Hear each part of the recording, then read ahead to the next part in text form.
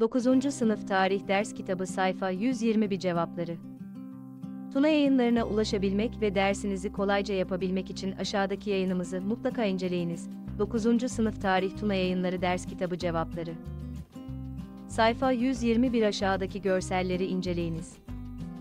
Numaralarla gösterilen silahların ve at koşum takımlarının adlarını yandaki noktalı yerlere yazınız. Cevap 1. Yay 2. Kiriş 3. Gem 4. Dizgin 5. Üzengi 6. Nal 7. Ok ucu 8. Temren 9. Ok 10. Sadak 11. Eğer 12. Kiliç 9. Sınıf Tarih Tuna Matbaacılık Ders Kitabı Sayfa 121 Cevabı ile ilgili aşağıda bulunan emojileri kullanarak duygularınızı belirtebilir, aynı zamanda sosyal medyada paylaşarak bizlere katkıda bulunabilirsiniz.